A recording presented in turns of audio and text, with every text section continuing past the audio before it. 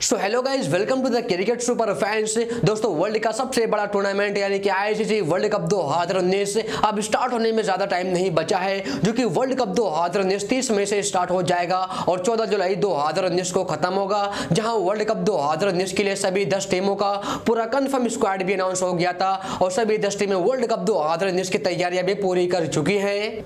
आपको बता दूँ कि वर्ल्ड कप दो हज़ार उन्नीस के लिए सभी दस टीमों का स्क्वाड का अनाउंस जो कि पंद्रह अप्रैल दो हज़ार उन्नीस को ये हो गया था जहाँ बीसीसीआई ने भी भारतीय टीम के 15 खिलाड़ियों का पूरा कंफर्म स्क्वाड अनाउंस किया था वर्ल्ड कप 2019 के लिए, जो कि काफ़ी ज़बरदस्त, काफ़ी बैलेंस काफ़ी मज़बूत टीम का अनाउंस किया था।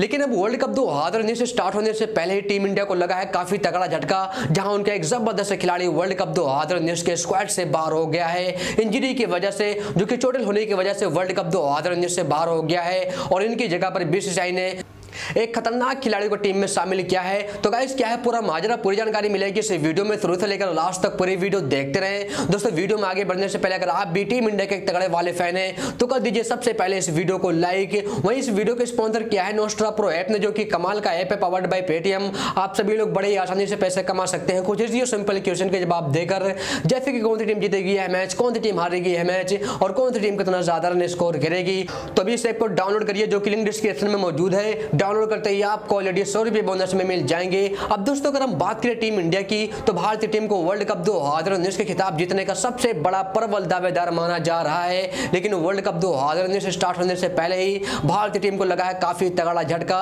जहाँ टीम इंडिया के सबसे अहम खिलाड़ियों में से एक बेहतरीन ऑलराउंडर केदार जाधव काफ़ी बुरी तरह से इंजर्ड है, जो कि आईपीएल दो हज़ार उन्नीस में चेन्नई सुपर किंग्स की तरफ़ से खेल रहे पंजाब के खिलाफ इंजर्ड हो गए थे, जो कि उनके कंधे में चोट आ गई थी, जिसके चलते वो आईपीएल दो हज़ार उन्नीस के प्ले से भी बाहर हो गए थे। लेकिन आज की बैठक में बीसीसीआई ने कहा है कि केदार जाधव की चोट काफ़ी ज़्यादा गंभीर है और शायद से ही वो वर्ल्ड कप दो हज़ार उन्नीस से पहले फिट हो पाए। आपको बता दूँ कि आईसीसी को वर्ल्ड कप 2019 के सभी 10 टीमों का अपना पूरा कंफर्म स्क्वाड हर एक टीम को देना है 22 मई को।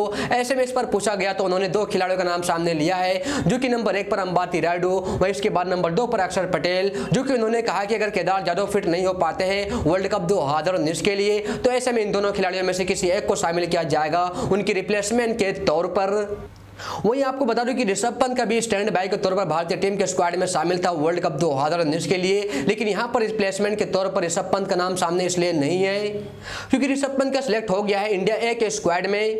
तो कह चलिए आपको बता देते हैं, भारतीय टीम के पंद्रह खिलाड़ियों का पूरा कंफर्म स्क्वाड वर्ल्ड कप दो के लिए। तो कुछ इस तरह से है भारतीय टीम का स्क्वाड जो की नंबर एक पर रोहित शर्मा नंबर दो पर शिखर धवन नंबर तीन पर विराट कोहली नंबर चार पर लोकेश राहुल नंबर पाँच पर महेंद्र सिंह धोनी नंबर छह पर विजय शंकर नंबर सात पर दिनेश कार्तिक, नंबर आठ पर हार्दिक पांड्या, नंबर नौ पर रविंद्र जडेजा, नंबर दस पर कुलदीप यादव। वहीं इसके बाद नंबर ग्यारह पर है मोहम्मद शमी जबकि नंबर बारह पर है जसप्रीत बुमराह। तो वहीं इसके बाद नंबर तेरह पर है भुवनेश्वर कुमार, जबकि नंबर चौदह पर है युवेंद्र चहल। वहीं इसके बाद नंबर पंद्रह पर है फ़िलहाल केदार जाधव अगर वर्ल्ड कप दो हज़ार उन्नीस से पहले फिट हो जाते हैं केदार जाधव तो ऐसे में केदार जाधव ही रहेंगे टीम इंडिया के स्क्वाड में। वरना फिर अक्षर पटेल या फिर अंबाती रायडू को टीम में शामिल किया जाएगा केदार जाधव की जगह पर। तो गाइस फ़िलहाल इस वीडियो में बस इतना ही। अगर आपको हमारी वीडियो अच्छी लगी तो लाइक करें शेयर करें कमेंट बॉक्स में अपने विचार अपने राय ज़रूर दें। वहीं चैनल को भी सब्सक्राइब कर लें, साथ ही बेल आइकन को प्रेस कर लें, क्योंकि इसमें आपको मिलने वाली है हर एक न्यूज़ सबसे पहले।